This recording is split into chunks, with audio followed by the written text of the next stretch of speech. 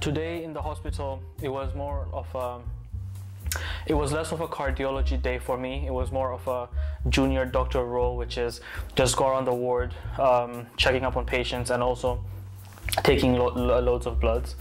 Um, that just happens sometimes, and so what I'll do now is I'll, I'll give you a quick structure of what medical school rotations are like at my university.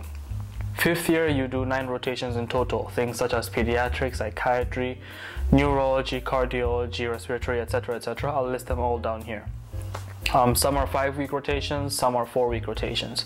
Basically, on the first day, you get you get introduced to the clinical lead, who is your main tutor, who signs you off at the end for everything, and then you get introduced to the other doctors who will be in charge of you throughout those four to five weeks.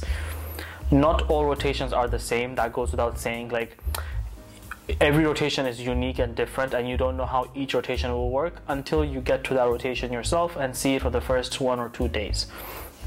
Prime example is for example for neurology. Um, the way it worked was you were assigned a doctor each day and you had to report to that doctor every morning and wherever that doctor went you went with that doctor um, however, in rotations such as, um, and the same thing for pediatrics, for example, you were assigned to one doctor, and wherever that doctor was, same with obs and gynae as well, wherever that doctor was for that day, whether they're in out, outpatients, in the baby scan room, or they're in the um, surgical theaters that day, you go wherever they are. Obviously, you can ask them the day before, where are you tomorrow? You get to know in advance, that way you can prepare in advance. But so for, for, for, some, for example, for cardiology, you are assigned a main doctor, but your daily schedule is different. So your daily schedule, you're not assigned to someone specific, but it tells you where you're supposed to be. In cardiology, you're assigned to a main doctor who is in charge of you, but you don't get told to report to that doctor every single day. So obviously, at, in the morning you go report to that doctor, but you don't follow them around. That is at least how I'm taking this. And from my personal experience so far, being three weeks into cardiology, if I were to follow my doctor only and do nothing else but follow my doctor in cardiology, half the time I would be in the cath lab just sitting watching my doctor perform procedures while I just watch because a cath lab, uh, a stent placement is not really a procedure where you can assist. So what I end up doing is every morning at 8 a.m. I go, I report to the doctor to show them my face and that I'm here at 8 o'clock on time. And I go, to, I, I, tell them I'm going to the um, cardiology ward to start ward rounds with the uh, with the consultants. What then happens is I go to the ward rounds. We go through each patient. We go, we see how they were. We check up on their blood pressure and their vitals overnight.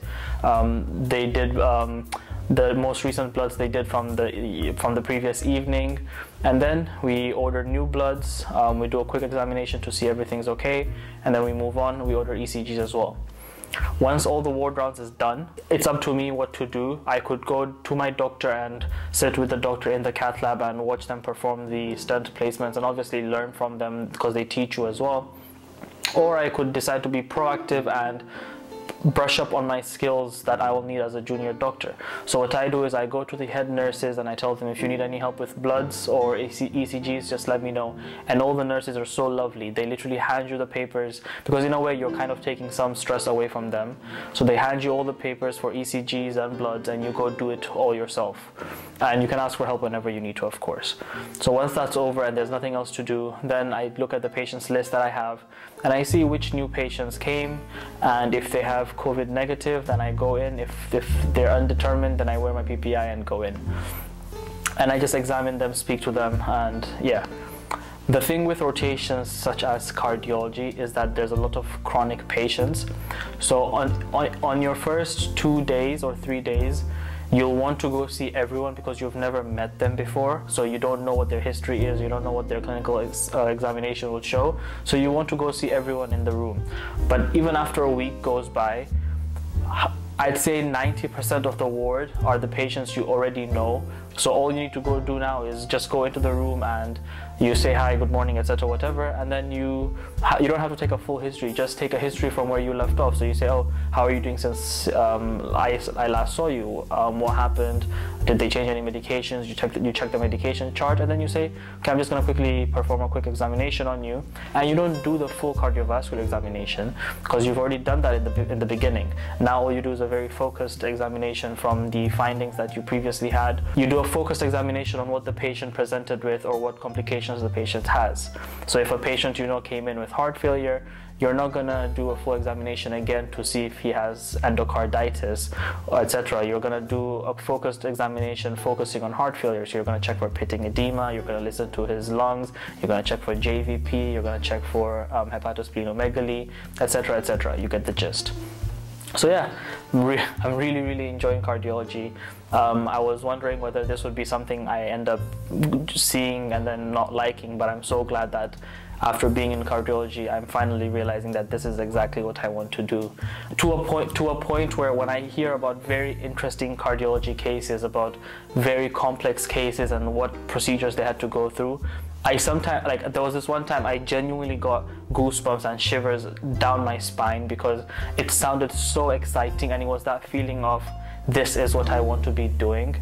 So yeah, it goes without saying that cardiology, anything in cardiology, cardiologist, interventional cardiology or cardiac surgery is where I see myself going and accident and emergency as well.